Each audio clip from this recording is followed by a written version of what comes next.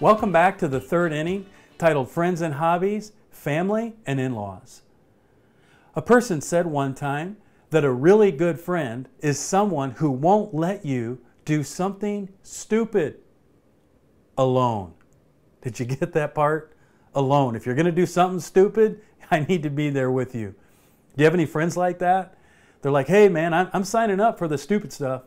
I know I do, and maybe I've been the friend to someone who said, hey, I'll join you if it's stupid. But have you ever thought about your friends? Have you ever thought about how your friends affect your marriage? Have you ever put those two topics in the same category? Well, we're going to in this session. I think that who you pick as your friends has everything to do with the outcome of your life. I want you to imagine back in your life every time you've gone through a valley or a dark time or a difficult time, whether you were married or not, I want you to go back and think about your pattern. Who did you turn to? Who were they? What person did you turn to? Or maybe you turned to two or three people. Who are they? I want you to think for a second that we all have what I call first tier friends and second tier. The first tier are the top friends in our life. It's the go to friend. And some people have one, some people have two or three or more. Some people don't have any. And I want to talk about your first tier. I want to talk about the people that you turn to whenever there's a trial or whenever you're having a bad day or something big is about to happen in your life. And I want to unpack this for you because this is such an important thing. If I've seen it once, I've seen it a hundred times where a couple comes in and they want divorced. I want divorced. And almost every single time, the person who really wants the divorce, who really wants out of their marriage, has already built up this posse in their personal life. A group of people, or at least one person, that's in their camp, encouraging them and helping them bail out on the marriage. I see it every time. And one of our objectives when we're helping couples is to figure out a way how can I get between you and that friend to help you focus back on your marriage, back on the relationship, back on your children, back on what God wants to do in your family. And in many cases, we're unsuccessful. I can't get in between that person and their first tier friend. And that can be catastrophic. And so I want to talk to you about your first tier friends. First, let's see what the Bible has to say. Proverbs 12:26 says, "The righteous choose their friends carefully, but the way of the wicked leads them astray." In other words, choose your friends carefully. Be careful. Be cautious. Secondly, it says in Proverbs 13:20, it says to walk with the wise so that we become wise. For a companion of fools suffers harm. Be careful. Be strategic. You've got a first tier group of friends, you've got a second tier. The second tier are all the friends in your life that sort of are more of a distant acquaintance. You're friends, but you don't see them as often. You don't do as much with them. And they have far less of an impact on your life. And so I want to talk about your first tier. I want to talk about the friends in your first tier. And I want you to maybe write their names down as you're taking notes. Who are they? Pick your best friend. Who is it? Maybe it's a family member. Maybe it's a sister or a brother. Maybe it's your mom. Maybe it's a coworker, high school buddy. I don't care who it is. I want you to think about them. I want you to write their name down because I'm going to ask you some questions about your friend. Number one, does your friend know God? Do they know God? Does your friend have a relationship with Jesus Christ? Here's why I'm asking you the question. Because if that friend that you have in that first tier knows God, and I mean knows Him, then they have a moral compass. They have a moral compass that is led by the Holy Spirit. And when you turn to that person and you're looking for direction and guidance and you're looking for help, they're not just going to jump on your bandwagon their moral compass is going to guide them in how they respond to you. And a really, really good friend who knows Jesus, they may push back on you. They may curve you. They may, they may literally grab you and turn you back and focus on your family and turn you to look and focus and invest back into the marriage. And what they're not going to do is say, oh, yeah, come with me, bail out on that family, leave your spouse. Hey, I'll help you. We'll go have a blast. Let's go live life together. Let's be single together. They're not going to be driven by that motivation. If they know God and they're walking with Jesus, they're not only going to be your friend, but they're going to help you from making a really, really stupid decision. So, does your friend know God? The second question that I have is Will they fight for your marriage? Will the friends in your first tier fight for your marriage? Is that their first inclination? Is that their first motivation? I can't tell you how many times couples come into our setting as we're providing marriage mentoring. And we have thousands of mentors all over trained on how to do this. And one of the first statements we make to any couple that comes into our home the very first night is we say this We are here to fight for your marriage. We are here to fight for your family. That's why we're here. Make no mistake about it. And I can't tell you how many times someone will say to me, Matt, I've been seeing a counselor or a therapist and they don't speak to me that way. And they don't tell me that they're fighting for my marriage. As a matter of fact, in many cases, they're helping me divorce. They're helping me divorce my spouse. They're helping me divorce the family unit. And I say back to them, Yeah, I know. And I'm sorry. But that's not who we are. And that's not what we do. And that's not what we're going to do. And so, if you're going to commit to this process, we're here to fight for your marriage. And I just want you to think right now about your first tier friends. Will they?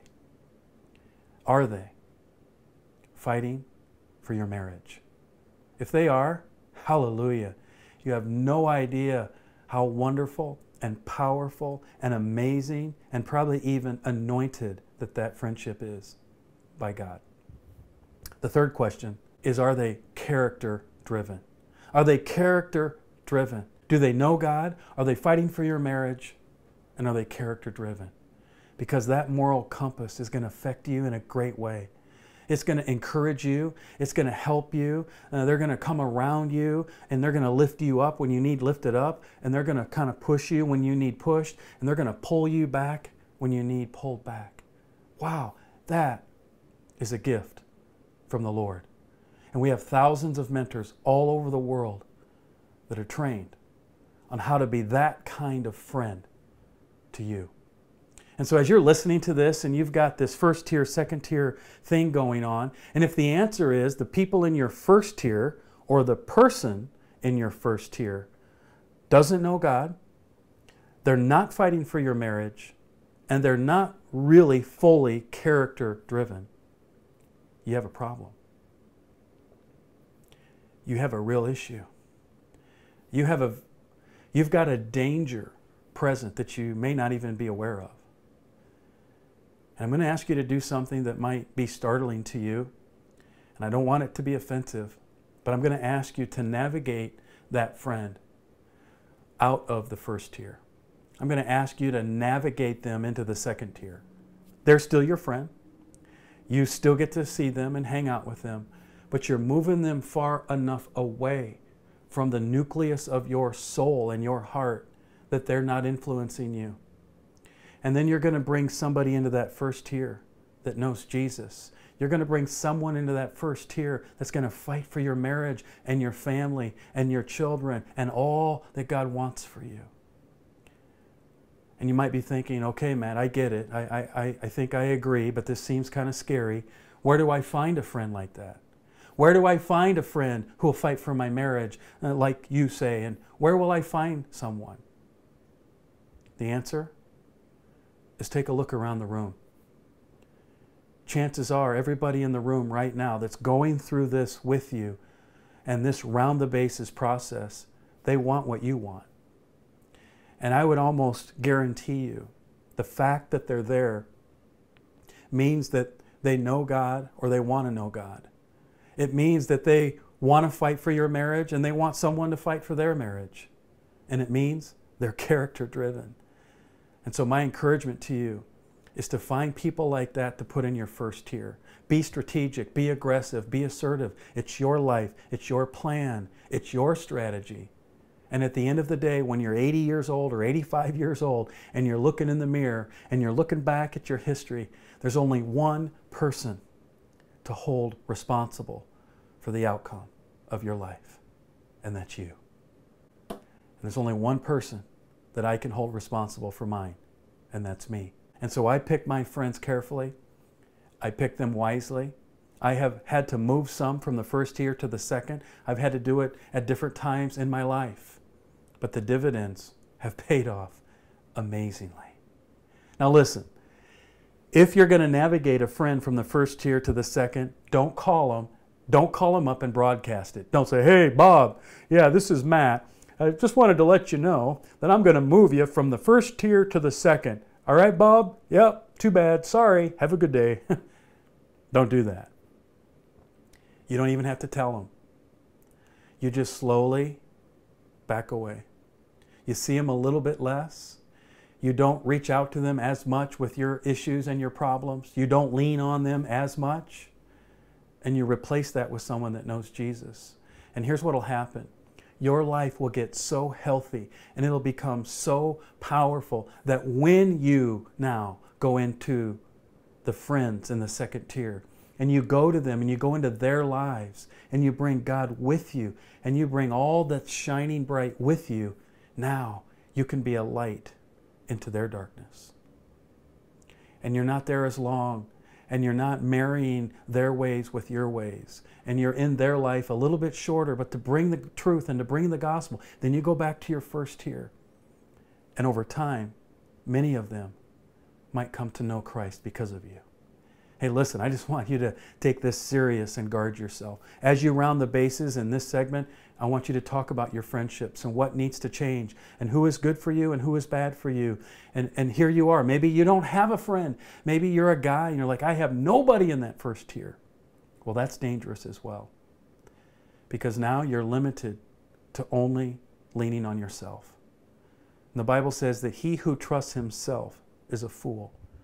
And I need godly people in my life like I need oxygen. And so I'm going to encourage you to get someone in that first tier. Sign up for a small group in your church. Get involved with other believers who are just like you, seeking, searching, and wanting to grow. Let's move on to hobbies. Develop hobbies that both enjoy hobbies. Hobbies are just things you enjoy. And I see a lot of times we have this divide where the wife does this all the time and the husband does that, and it kind of pulls you away. And that's about as far as it goes. And so I want you to develop hobbies that you both enjoy. It's okay to have different hobbies. I think that's okay. But it's also fun to create hobbies, find hobbies that you both enjoy. Sometimes she brings me antiquing, and sometimes I bring her hunting with me. Yeah, I've done that. I got her all camoed up and I take her hunting. She doesn't love it, but she likes being with me. And getting into each other's world actually is what stimulates romance. And so develop hobbies that you both enjoy. And number two, develop hobbies that stretch each other. Try different things. Try things you've never tried. Try things that only one of you like. And you just, it's fun and it's exciting. Sometimes you won't like it, but you'll like the experience. But the key is don't just sit around. Don't be lazy. Don't be relationally lazy. It's easy to do.